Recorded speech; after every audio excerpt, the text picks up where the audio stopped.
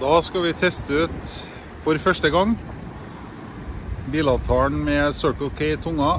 Jeg skal inn og vaske biler. Eh, fantastisk rabatt, eh, så den skal jeg benytte meg mye av. Og det har alle medlemmene av Trøndergolf muligheten å gjøre.